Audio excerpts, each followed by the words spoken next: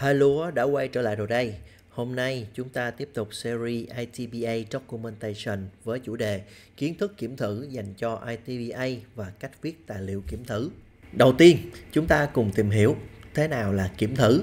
Các bạn sẽ hiểu là đây là chúng ta đang làm BA. Tại sao chúng ta lại phải thực hiện các cái hoạt động kiểm thử? BA vẫn phải thực hiện các cái hoạt động kiểm thử. Lý do thứ nhất đó là để giúp cho người BA có thể đánh giá được cái chất lượng sản phẩm đầu ra. Các bạn nên hiểu, người BA là người đại diện cho khách hàng, đại diện cho stakeholder trong cái team dự án. Dẫn tới, người BA sẽ phải đảm bảo được là khi mà team dự án hoàn thành một cái sản phẩm nó phải có chất lượng. Nó phải đảm bảo được cái chất lượng đầu ra, thì người BA sẽ là người đại diện kiểm soát cái chất lượng đó. Việc mà chúng ta kiểm thử cũng giúp cho người BA đảm bảo được là các cái yêu cầu đã được đáp ứng. Khi mà chúng ta thực hiện các yêu cầu kiểm thử, nó sẽ giúp cho chúng ta biết được là, ok, chúng ta sẽ thấy là bạn đép đép đúng hay không? Bạn đép có thực sự đảm bảo được các yêu cầu mà trong tài liệu BA đã viết như là BRD SRS đã được thỏa mãn hay chưa? Kiểm thử cũng giúp cho chúng ta tìm kiếm những cái lỗi để mà hạn chế sự cố khi mà đưa vào sử dụng chính thức, đảm bảo thỏa mãn các yêu cầu chức năng và phi chức năng và cũng như là giảm chi phí khi đưa vào vận hành. Tại vì khi mà chúng ta đã đảm bảo được là các cái lỗi nó hạn chế tối đa thì cái việc mà chúng ta bớt những cái thời gian cho việc vận hành bảo trì bảo dưỡng sửa chữa lỗi fix bug vân vân nó sẽ hạn chế rất là nhiều.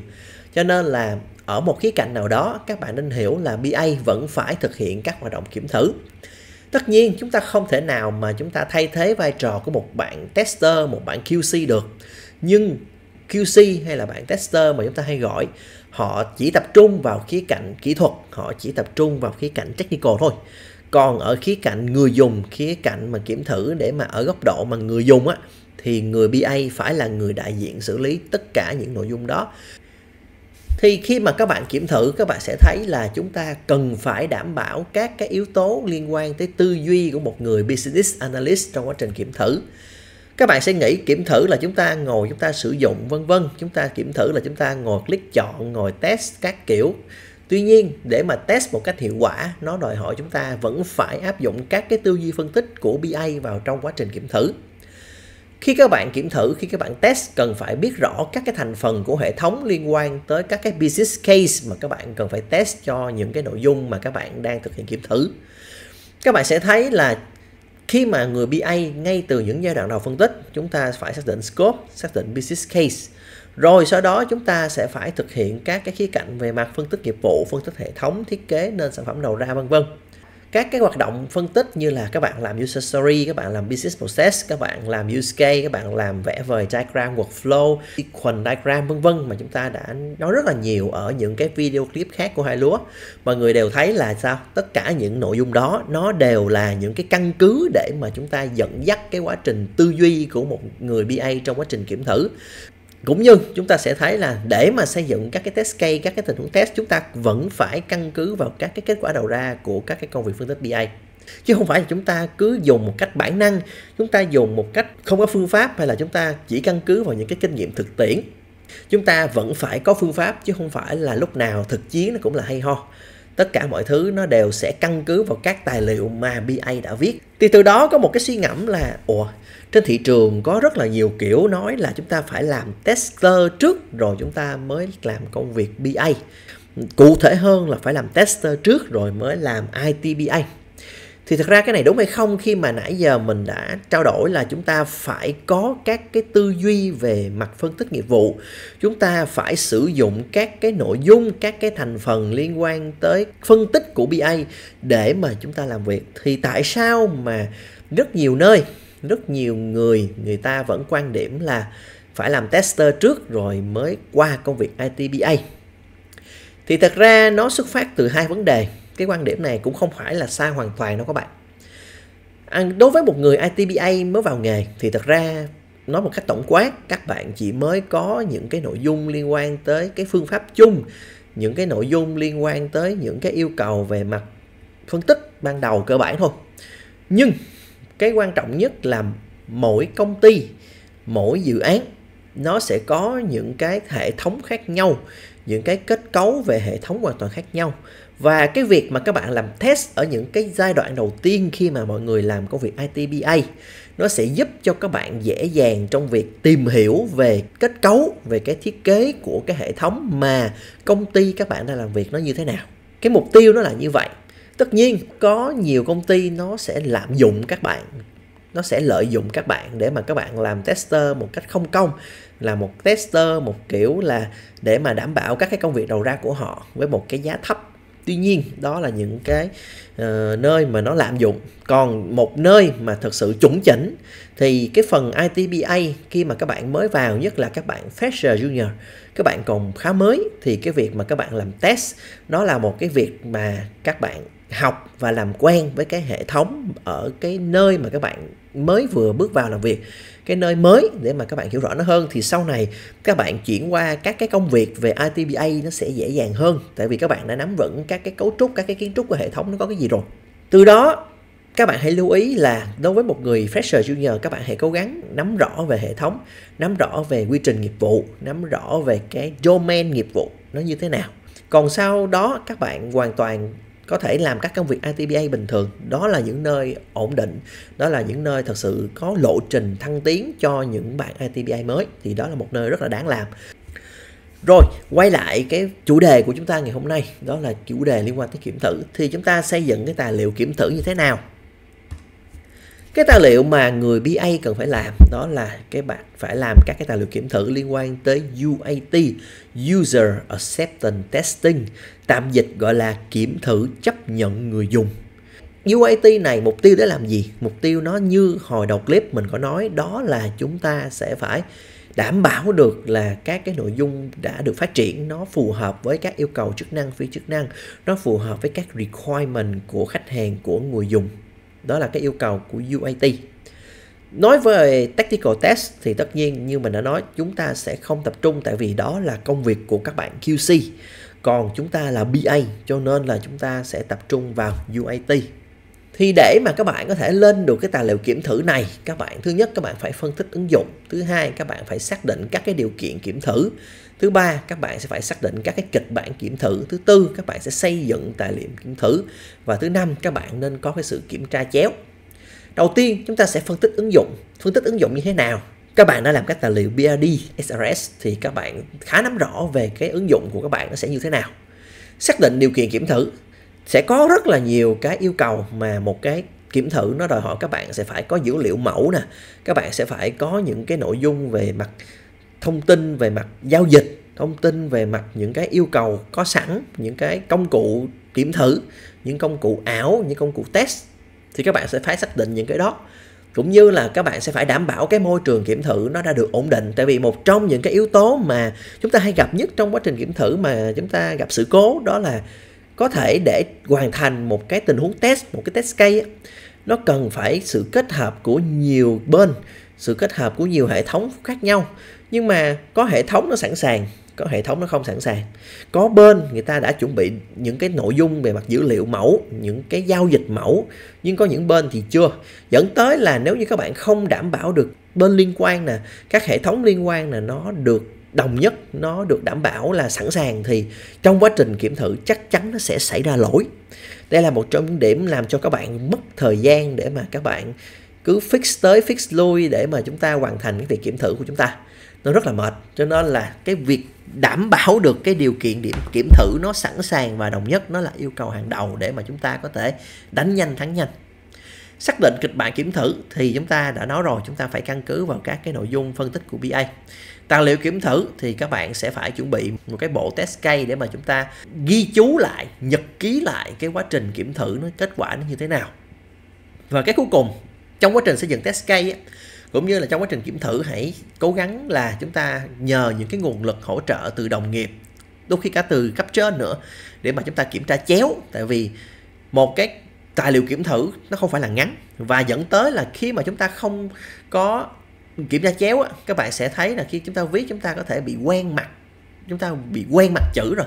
Dẫn tới là chúng ta nhìn, chúng ta cũng không biết là ừ cái đó đúng hay không, cái đó có đủ hay chưa. Thì cái việc mà kiểm tra chéo bởi đồng nghiệp hoặc đôi khi cấp trên, nó sẽ giúp cho chúng ta đảm bảo được cái chất lượng kiểm thử nó sẽ tốt hơn. Tài liệu kiểm thử thì nó cũng đơn giản thôi. Các bạn thường sử dụng Excel để mà chúng ta nhật ký lại cái quá trình mà các bạn kiểm thử. Thì đây là một cái template à, một, có thể nói là cơ bản nhất về một cái tài liệu kiểm thử như thế nào. Chúng ta sẽ có cái cột số thứ tự chúng ta sẽ có các cái tình huống test chúng ta sẽ có cái mô tả hình tình huống. Tại vì mỗi cái tình huống test nó sẽ có cái tình huống khác nhau nó sẽ có cái kịch bản test khác nhau. Tại sao chúng ta phải xây dựng kịch bản test? Là vì để đảm bảo được cái tình huống đó chúng ta test đúng. Cái tình huống đó chúng ta test sai mà đưa kêu là báo uh, cái lỗi đó là bugs hoặc là gì kia thì chắc chắn là các bạn đép người ta sẽ không vui rồi. Các bạn làm sai mà rồi các bạn đi nói người ta làm sai đâu có được cho nên là cái tình huống test nó cũng rất là quan trọng. Bên cạnh cái chuyện là đảm bảo các bạn test đúng thì đó cũng là một cái điểm để giúp cho các bạn dev khi mà có xảy ra lỗi, người ta cũng có thể dò được coi lỗi ở đâu. Kết quả mong muốn, tiếng Anh là expect result, thì cái mong muốn kết quả đầu ra là cái gì? Tại vì sẽ có những tình huống các bạn test đúng, chúng ta hay gọi là happy case, nhưng sẽ có những tình huống các bạn sẽ test sai để coi là trong những tình huống mà chúng ta xử lý sai á, nó có đảm bảo được là chúng nó bắt lỗi được hay không? Hay là các cái tình huống sai nó có đảm bảo được là chúng ta không thực hiện được trọn vẹn hay không? Sẽ có rất nhiều tình huống mà các bạn xử lý sai mà mà nó vẫn ra kết quả đúng thì chắc chắn nó là một cái lỗi của phần mềm rồi. À, thì kết quả mong muốn nó sẽ đảm bảo được là chúng ta đang muốn test cái gì chúng ta cần đầu kết quả đầu ra là cái gì. Dữ liệu kiểm thử nó sẽ có những yêu cầu về mặt kiểm thử ví dụ như là trong môi trường banking đi nó sẽ có những cái giao dịch mẫu nó sẽ có những cái thẻ mẫu những cái sẽ để test để mà chúng ta có thể xử lý trong các cái tình huống khác nhau rồi kết quả thực tế thì sau khi các bạn test nó có kết quả như thế nào và cái cuối cùng là pass hay là fail. Đó, thì đây là cái tài liệu cơ bản nhất. Còn các cái nội dung bên trong thì nó phụ thuộc vào từng phần mềm. Nó không có công thức. Tại vì một ngàn lẻ một phần mềm thì sẽ có một ngàn lẻ một bộ test case khác nhau. Chúng ta hoàn toàn không có một công thức cho tất cả các phần mềm. Cho nên là chúng ta phải căn cứ vào tài liệu của phần mềm để mà chúng ta xây dựng bộ test case. Rồi chúng ta đã nói về vì sao chúng ta phải test. Chúng ta đã nói về cái tài liệu kiểm thử. Các bạn thấy thực sự tài liệu kiểm thử nó chỉ có như đó thôi, nó không có nhiều. Cái quan trọng nhất trong quá trình mà các bạn làm đó là những cái nguyên tắc làm việc để mà các bạn có thể đảm bảo được cái tư duy, đảm bảo được cái cách test một cách hiệu quả nhất. Thì chúng ta sẽ nói về các cái nguyên tắc làm việc để mà chúng ta có một cái quá trình kiểm thử một cách hiệu quả và đảm bảo chất lượng phần mềm. Chúng ta có 7 nguyên tắc. Nguyên tắc thứ nhất, kiểm thử cho thấy sự hiện diện của lỗi. Thì các bạn nên hiểu, kiểm thử để giúp cho chúng ta thấy được là ừ cái phần mềm có lỗi và có lỗi thì chúng ta sẽ sửa chữa, chúng ta sẽ fix nó để mà đảm bảo được cái kết quả đầu ra. Tuy nhiên, nó sẽ dẫn tới nguyên tắc thứ hai đó là kiểm thử toàn diện là không thể. Thì một cái phần mềm có thể khi mà các bạn kiểm thử nó có rất nhiều lỗi và các bạn đã fix không đồng nghĩa với việc là sao nó khi launching ra thị trường khi go live, nó có thể hoàn toàn không có lỗi. Chúng ta không thể nào biết được. Cho nên là kiểm thử không có nghĩa là tạo ra một cái phần mềm hoàn hảo. Chúng ta chỉ hạn chế nó thôi. Và chúng ta kiểm thử toàn diện tất cả mọi thứ là chuyện không thể. Cuộc đời là không thể nào hoàn hảo được và chúng ta không thể nào biết được tất cả các khía cạnh. Đôi khi chúng ta phải đưa ra thị trường, đôi khi chúng ta phải go live rồi thì chúng ta mới có thể nhìn ra những cái lỗi mà trong quá trình kiểm thử chúng ta không nhìn nhận được. Từ nguyên tắc số 1 và nguyên tắc số 2 các bạn thấy là đôi khi chúng ta đừng cố tỏ ra hoàn hảo. Đôi khi chúng ta đừng có cố cầu toàn quá. Chúng ta hãy cố gắng làm thật tốt để mà hạn chế lỗi thôi chứ còn mà đảm bảo được không bao giờ có xảy ra lỗi thì cái đó là nhiệm vụ bất khả thi. Nguyên tắc số 3 kiểm thử càng sớm càng tốt. À, thì đây là một cái nguyên tắc mà có thể kết hợp với agile agile scrum. Ví dụ như vậy các bạn sẽ thấy là trong quá trình làm việc, chúng ta hay chúng ta hay chia theo backlog trong từng sprint. Thì ứng với một có thể là một cái tính năng, một cái phân hệ, nó có thể cần nhiều sprint. Thì thật ra mỗi sprint các bạn nên test test liên tục liên tục liên tục. Cứ ra là test để mà đảm bảo được là ngay từ những bước đầu tiên, nó đã được kiểm thử, nó đã được đảm bảo để hạn chế rủi ro nguyên tắc thứ tư, gom lỗi thành nhóm. Chúng ta hãy cố gắng tập trung lỗi. Chúng ta hãy cố gắng tập trung test theo từng nhóm, theo từng cụm, theo từng cụm chức năng tính năng. Chứ chúng ta đừng test một cách tứ tán. Nguyên tắc số 5 đề phòng nghịch lý thuốc trừ sâu. Thì nghịch lý thuốc trừ sâu nó là như thế nào? Các bạn thấy là giống như chúng ta sử dụng kháng sinh trong quá trình mà chúng ta bị bệnh chúng ta hay sử dụng kháng sinh thì chúng ta có xảy ra hiện tượng gì? Hiện tượng lờn thuốc. Thì cái việc mà chúng ta sử dụng một bộ test case cho nhiều phần mềm khác nhau, cho nhiều tình huống khác nhau, thì nó sẽ dẫn tới là sao? Có thể là nhìn thì nó giống như là chúng ta đã hoàn thành cái việc kiểm thử, nó không có lỗi gì hết, nhưng bản chất các bạn đang bị lờn thuốc. Tức là chúng ta không thể nào mang từ phần mềm A sang phần mềm B và hai cái nó đều pass thì mặc nhiên là B nó hết lỗi được không có đâu mỗi bộ phần mềm đều có một cái bộ test case riêng biệt, chứ không thể nào mà chúng ta cứ mang cái này qua cái kia hoặc là chúng ta không cập nhật. Một trong những cái vấn đề nói về nguyên tắc số 5 này đó là các bạn không cập nhật test case qua từng giai đoạn, tại vì mỗi giai đoạn phát triển của phần mềm nó sẽ có những yêu cầu khác nhau và chúng ta không cập nhật thì chúng ta sẽ thấy là cái phần mềm sau tất nhiên đôi khi nó sẽ hoàn hảo hơn cái trước, nhưng mà đâu có đảm bảo là nó không có bất kỳ một cái lỗi nào đâu có thể những cái tính năng mới của một cái phần mềm nó sẽ làm cho người ta bị lỗi mà các bạn chưa test bao giờ. Thì cái việc mà các bạn hãy lưu ý là chúng ta hãy luôn cập nhật cái bộ test case của các bạn. Nguyên tắc số 6 kiểm thử phụ thuộc vào ngữ cảnh. À, đây là một trong những điểm mà mình nói về BA mình luôn nói là chúng ta phải xác định rõ context scope business case là vậy. Mỗi scope mỗi business case khác nhau nó sẽ có những cái ngữ cảnh khác nhau nó sẽ có những cái yêu cầu khác nhau cho nên là có thể với ngữ cảnh A, nó sai, nhưng chưa chắc với ngữ cảnh B, nó cũng sai luôn. Chúng ta phải tùy tình huống mà chúng ta linh hoạt. Nguyên tắc số 7 quan niệm sai lầm về phần mềm không có lỗi. Như mình đã nói, trên đời này cái gì nó cũng không có thể vào hoàn hảo 100% được, cho nên là cái gì nó cũng sẽ có lỗi và cái việc mà các bạn phải chăm chút trong quá trình kiểm thử đó là điều bắt buộc tất nhiên sẽ có những tình huống mà chúng ta có thể bypass, chúng ta có thể bỏ qua. Nhưng mà tất cả mọi tình huống kiểm thử, nó đều phải đảm bảo được các bạn cần phải có sự kiểm tra. Cho dù lớn hay nhỏ, một cái nhỏ nhất cũng phải kiểm tra. Đừng bao giờ bỏ qua những cái yếu tố về mặt kiểm thử đó. Nó quan trọng lắm các bạn. Quy tắc làm việc. Khi các bạn kiểm thử, khi các bạn test, phải đảm bảo trọn vẹn hành trình, hệ thống liên quan, chứ không phải kêu cái gì test cái đó. Đây là một trong những điểm mà mình thấy khá nhiều bạn BA mới gặp phải, đó là giống như là các bạn kiểm, các bạn chỉ thấy là cái yêu cầu chức năng đó nó có các cái hoạt động, có các cái activity abcd thì các bạn chỉ kiểm tra abcd thôi, các bạn không có kiểm gì hơn hết. Thì dẫn tới là khi mà đưa vào phần mềm chính thức nó bị lỗi. Tại vì nó không có liên kết với các cái thành phần còn lại trong hệ thống. Nó không có liên kết trọn vẹn một cái hành trình. Đấy, khi mà các bạn xử lý về mặt kiểm thử, các bạn sẽ đảm bảo hành trình cái sản phẩm từ ban đầu tới kết thúc nó như thế nào cái journey từ đầu tới cuối nó như thế nào thì cái chất lượng phần mềm nó mới được ok. Khi mà các bạn xây dựng test case thì hãy nhớ dựa vào user story, business process, use case, workflow để mà lên kế hoạch test và lên kịch bản test. Những cái nội dung này nó là rất là cơ bản của BA và ở đâu nó cũng sẽ sử dụng những cái kỹ thuật này để mà chúng ta phân tích về mặt test case. Chúng ta cần phải kiểm cái gì trong quá trình mà các bạn xây dựng phần mềm. Khi các bạn test một trong những điểm mà BA mới hay gặp và đôi khi tester mới cũng gặp luôn đó là chúng ta thường kiểu là cứ test từng test cây tới cái test cây nào lỗi thì lại kêu bằng dev fix rồi lại test tiếp rồi lại lỗi rồi test tiếp. Dẫn tới là sao? Chúng bạn không có nhìn được tổng quan toàn bộ cái bức tranh nó như thế nào. Các bạn cũng sẽ rất là lắc nhắc và các bạn sẽ mất rất rất nhiều thời gian để mà hoàn thành. Cái nguyên tắc kiểm thử đó là có 10 cái test cây thì test hết một loạt đi. Cho dù là cái test số 1 không được nữa thì cứ test số 2, số 3, số 4 cứ test hoàn toàn và báo kết quả cho tất cả mọi nội dung đó. Tại vì khi các bạn làm như vậy, thứ nhất, nó tiết kiệm thời gian. Cái thứ hai, cái người đép người ta nhìn vào, người ta có thể nhìn được toàn bộ bức tranh và người ta sẽ đảm bảo là khi người ta fix lỗi, người ta cũng sẽ nhìn lại toàn cục cái bức tranh đó để mà coi khi người ta fix nó có khớp, cái bánh răng nó có khớp vào tất cả mọi cái hoạt động hay chưa? Hay là người ta cứ fix từng chút từng chút từng chút một rồi nó cứ lỗi hoài? Đó thì cái cần lớn nhất để mà chúng ta giảm thiểu thời gian đó là hãy cho bạn đép một cái bức tranh lớn để mà bạn đép khi mà người ta sửa lỗi người ta sửa xong chỗ A thì người ta vẫn nhìn hết cái bảng chữ cái để mà người ta fix B, C, D, E tính Z luôn. Nhớ áp dụng SMART khi thực hiện test. À, khi bạn các bạn xây dựng test case hay là các bạn test đi chăng nữa thì hãy nhớ mô hình SMART. Và cái quan trọng nhất của mô hình SMART đó là chữ cụ thể làm gì nó cũng phải cụ thể. Công việc BA làm gì cũng phải cụ thể, chứ không phải test một cách chung chung. Không phải test một kiểu là bạn đâu trúng đó hơn thì trúng, không hơn thì không qua. Cái gì nó cũng phải cụ thể và các bạn phải biết được các bạn đang test cái gì.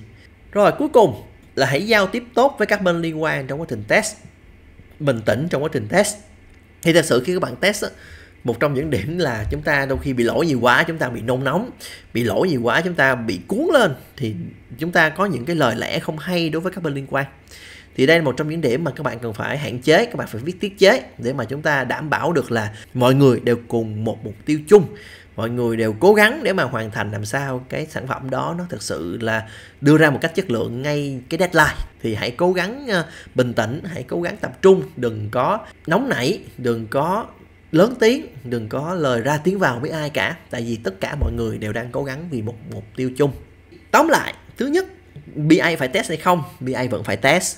Cái thứ hai, test có khó hay không? Thực ra test không khó nếu như các bạn đảm bảo được cái điều kiện test, nếu như các bạn căn cứ vào các cái tài liệu, các cái nội dung phân tích của BA để mà chúng ta có thể xây dựng cái test case một cách hoàn thiện, một cách hoàn chỉnh, thì cái việc mà chúng ta đưa ra một phần mềm chất lượng, đó là điều tất yếu. Thứ ba, có phải là chúng ta không nên bắt đầu bằng tester rồi chúng ta mới tới ITBA hay không? Thì câu trả lời là các bạn đừng nghĩ như vậy. Các bạn hãy hiểu là bắt đầu ở vai trò testing là để làm gì, là để các bạn hiểu rõ về hệ thống của công ty, của tổ chức. Tại vì sao? Tại vì mỗi công ty, mỗi tổ chức đều có những cái hệ thống khác nhau, đều có những thành phần khác nhau. Và các bạn phải dành thời gian ra để hiểu về các thành phần đó. Thì khi đó, các bạn xử lý các công việc ITBA nó mới chuẩn xác được. Còn nếu như các bạn cứ sợ, cứ kêu là công ty đó không cho các bạn là công việc ITBA công ty đó không cho các bạn các cái task ITBA các bạn nói là công ty đó không có tương lai No, những công ty có lộ trình chuẩn chỉnh, người ta sẽ yêu cầu các bạn bắt đầu từ những công việc test để mà cho các bạn hiểu rõ về cái hệ thống của người ta. Thì đây là những cái nội dung liên quan tới kiểm thử để giúp cho một bạn ITBA có một cái nhìn nó thiện cảm hơn cũng như là các bạn sẽ phối hợp với các member trong team một cách hiệu quả hơn trong quá trình chúng ta launching, chúng ta release ra sản phẩm. Hai lúa chào các bạn.